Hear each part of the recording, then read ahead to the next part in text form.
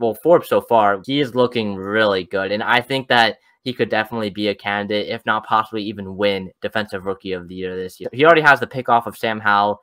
Uh, he almost had a second pick off of Sam Howell on the same day. He adds that ability for game changing plays, like you mentioned, four interceptions, mm-hmm. five interceptions. To add that is just going to be so huge because I feel like this yeah. team for years has been bottom of the league and turnovers forced. That if that mm-hmm. changes mm-hmm. at least somewhat, that would be massive.